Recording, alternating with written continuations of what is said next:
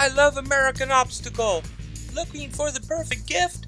How about American Obstacle gift certificates? Or better yet, a season pass for 2015. The pass lasts all year long and includes six zip lines, a climbing wall, and kayaking whenever you want. It really is the perfect gift for us adventurous types. Click the link below to purchase yours.